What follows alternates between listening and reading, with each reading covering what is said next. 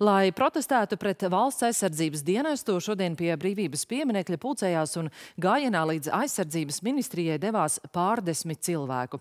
Protestētāji ar plakātiem rokās sevi pozicionēja kā Latvijas patriotus, vienlaiks uzsverot, ka valsts aizstāvi šobrīd viņu prāt esot pietiekami. Tikmēr citi šodien Rīgā sastaptie jaunieši pauda pārliecību vajadzības gadījumā aizstāvēt valsti tiesa jāiznīdē aizspriedumi. Turpina Dinija Jemeļjānova. Plakātus ar tādiem saukļiem kā jaunieši nedienēs, jaunieši emigrēs vai obligāti nē. Daži dalībnieki bija sarūpējuši paši, citiem tos izdalīja. Ne visi, kas akcijas sākumā pulcējās pie brīvības pieminekļa, sekoja gājiena organizatoriem uz esplanādi. Dalībnieku vidū gan nedaudz jauniešu, ko valsts aizsardzības dienests potenciāli skartu. Demokrātiskajā valstī cilvēkam jābūt izvēle.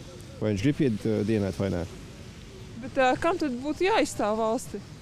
Uh, vajadzētu armijai. Es tā gribētu, jā, bet lieta jau ir tāda, ka um, ir tāda lieta, ka uh, tad, kad cilvēks aiziet armijā, viņam, not, viņam obligāti vajag nopotēties. Tikmēr akcijas vadītājs pauda viedokli, ka armijā un zemesardzē šobrīd jau darbojas daudzi, un arī bez jauniešiem pietiktu karavīru.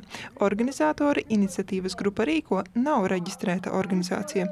Notiekošo uzraudzīja policisti. Militarizācija nav pareizs ekonomiskas un politiskas krīzes risinājums. Es nedomāju, ka mēs šeit pārstāvam kādās reģistrētas partijas.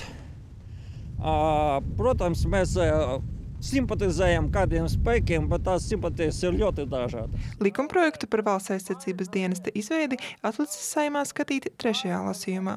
Ar ieceri to ieviest aizsardzības ministrija klajā nāca pagājušā gada jūlijā, un kopš tā laika plašākas diskusijas izvērtušās par to, vai sievietēm jāiesaistās brīvprātīgi un kā tas attieksies uz ārzemēs esošajiem jauniešiem. Personīgi es atbalstu, vajadzētu, jo, nu, kā nekā visu šeit dzīvojam, un, manuprāt, jābūt gatavam aizstāvēt savu valsti. Kaut ko tādu, kas krietni mainītu domāšanu uz to jauno pusi, ka tas nav tik briesmīgi, kā bija padomju laikos, nu nav noticis. To vajag audzināšanu mainīt, to domāšanu. Es domāju, ka nekāda neskaidrība nav.